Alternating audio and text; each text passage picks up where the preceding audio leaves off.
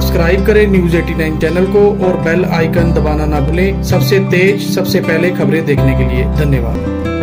आधार card जो देश में रहने वाले हर एक शख्स के लिए बहुत ज़रूरी है। वो चाहे बड़ा हो या फिर एक दिन का छोटा बच्चा। पहले जहाँ आधार कार्ड बनाने के लिए लोगों को इधर उधर चक्कर लगाने पड़ते थे, वो भी छोटे बच्चों के साथ, जिस कारण उन्हें काफ़ी परेशानी का सामना भी करना पड़ता था। वहीं पठानकोट में अब आधार कार्ड बनाना पहले से काफ़ी ज़्यादा आसान हो गया है। यह देखने को मिल रहा है पठानकोट के सरकारी हॉस्पिटल में, जहाँ हॉस्पिटल में पैदा हुए नव बच्चों के आधार कार्ड बनाने शुरू हो गए हैं। हर रोज नव जन्मे बच्चे के आधार हॉस्पिटल की ओर से बनाए जा रहे हैं। और जब तक माँ और बच्चे को हॉस्पिटल से छुट्टी मिलती है, तब तक आधार कार्ड भी बनकर तैयार हो जाता है, जो एक बढ़िया प्रयास साबित हो रहा है। इस बारे में जानकारी देते हुए एसएमओ पठानकोट ने बताया कि अब सरकारी हॉस्पिटल में एक दिन के बच्चे का भी आधार कार्ड बनाया जा रहा है, और जब तक उन्हें हॉस्पिटल से छुट्टी मिलती है, तब तक आधार कार्ड भी बनकर आ जाता है। यही नहीं, जो छोटे बच्चे सरकारी हॉस्पिटल के बाहर प्राइवेट हॉस्पिटल में जन्म लेते हैं, उनका भी आधार कार्ड सरकारी हॉस्पिटल में ही बनाया जा रहा है ताकि हर बच्चे का पहचान पत्र बन सके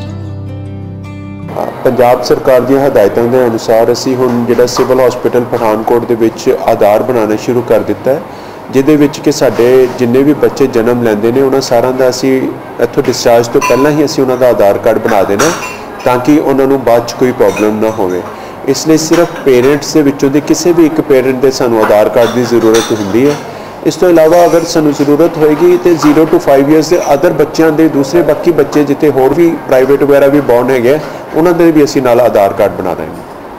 ਆਧਾਰ ਕਾਰਡ ਕਿੰਨੇ ਦਿਨਾਂ ਚ ਜਿਹੜਾ ਮਿਲ ਜਾਂਦਾ ਬੱਚੇ ਐਨਰੋਲਮੈਂਟ ਤਾਂ ਉਸੇ 5 ਮਿੰਟ ਦੇ ਵਿੱਚ ਹੀ ਐਨਰੋਲਮੈਂਟ ਹੋ ਜਾਂਦੀ ਹੈ ਪਰ ਕਿਉਂਕਿ ਉੱਥੋਂ ਦੀ ਤਿਆਰ ਹੋ ਕੇ ਆਨਲਾਈਨ ਦੁਬਾਰਾ ਆਉਂਦੇ ਆਂਦੇ ਤਕਰੀਬਨ 5 ਤੋਂ 7 ਡੇਜ਼ ਦੇ ਵਿੱਚ ਵਿੱਚ ਅਸੀਂ ਉਹਨਾਂ ਨੂੰ ਸਰਵ ਕਰ ਦਿਆਂਗੇ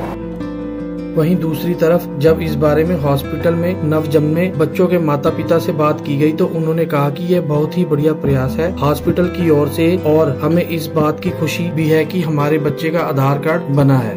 मेरी बेटी का जन्म होया इतने और मैं बड़ी खुशी हुई है जन्म होंगे ही आधार कार्ड बन गया सिविल हॉस्पिटल च। बड़ा अच्छा लग गया मैं हॉस्पिटल वाले का प्रयास है कि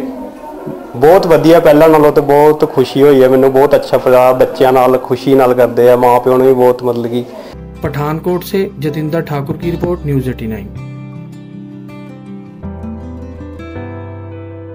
subscribe करें न्यूज़ 89 चैनल को और बेल आइकन दबाना ना भूलें। सबसे तेज, सबसे पहले खबरें देखने के लिए धन्यवाद।